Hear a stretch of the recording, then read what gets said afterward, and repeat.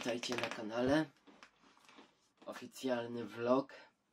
I muszę wam powiedzieć, że te filmy, które były teraz na kanale, usunąłem je ze względu na to, że chcę dodawać teraz e, filmy, które będą o wiele lepsze.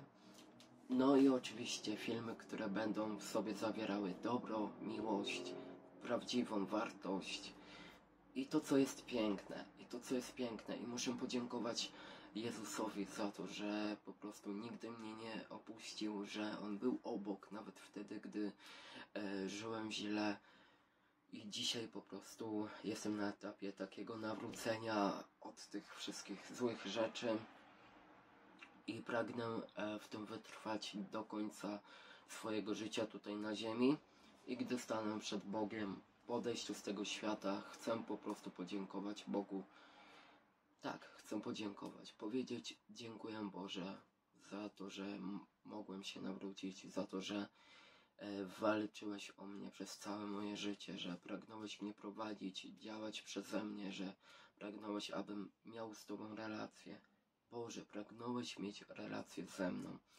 I kochani, to nie oznacza, że od teraz y, będzie tylko głoszenie Ewangelii, czytanie Słowa Bożego, mówienie o Bogu, y, bo będą takie vlogi, takie codzienne vlogi z, z mojego życia, y, powiedzmy jak idę na siłownię, jak sobie gram w piłkę lub gdzieś podróżuję, czyli po prostu takie wiecie, normalne e, filmy, normalne vlogi.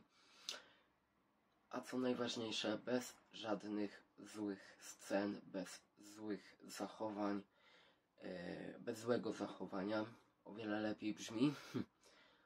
No i co najlepsze, po prostu, to jak mówiłem, vlogi, filmy, które, które nie będą pokazywać mnie w złym świetle, a w tym dobrym, bo o to mi właśnie chodzi. Bo jeżeli pragnę teraz być nawrócony w pełni, tak i żyć w pełni, czyli po prostu żyć e, z Jezusem, w Jezusie, w, wiecie, mieć wiarę i, i po prostu żyć jako osoba, która wierzy w Jezusa, która kocha Jezusa i która chce wypełniać wolę Bożą. I muszę Wam powiedzieć, że jestem szczęśliwy, że odszedłem od tych złych rzeczy, że nie słucham się ludzi, którzy chcieli tylko mnie niszczyć, że nie słucham się tych, którzy wymagali ode mnie tego, co jest złe, jakichś filmów, na których robiłem naprawdę złe rzeczy.